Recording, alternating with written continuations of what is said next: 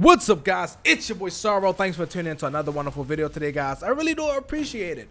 Today, I'm going to tell you what the best sniper rifle in the game is, and this is to me, everyone has a different opinion, so whatever the best sniper rifle is to you, make sure you do comment below and let me know. Give me some suggestions, seriously, but make sure you do subscribe and give this video a thumbs up guys, and for all you guys that have been subscribed to my channel, been checking out my content, I thank you so much, because gaming is something I love to do all the single time. But let me get right into this uh, video and stop being all mushy.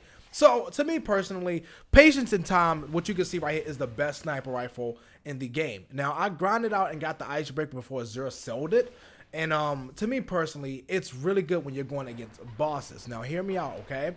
It takes about approximately 30 seconds for that sniper rifle to fully charge up.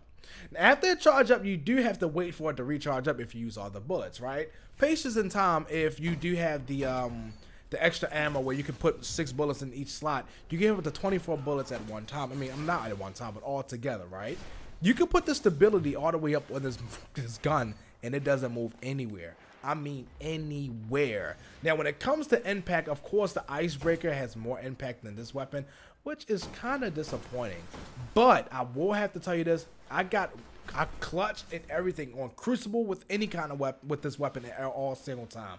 It's nearly impossible to out snipe it when I have this game. I mean, I say if I have this game, if I have this weapon, unless, and I mean this, unless you have another sniper rifle that can do the same exact thing with low stability, then you know what? I will tell you, then you're guaranteed to probably have a very competitive advantage.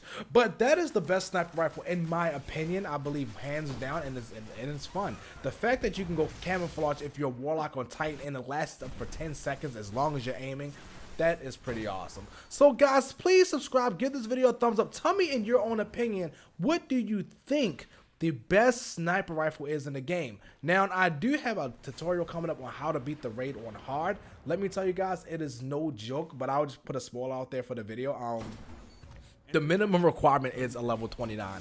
That is the minimum requirement. I'm being I'm being completely honest with you. I did it with on level 28 and I got completely demolished unless you're 20 with a whole bunch of other level 29s, it really doesn't do anything. But guys, again, thanks for tuning in for this video, and I'm out.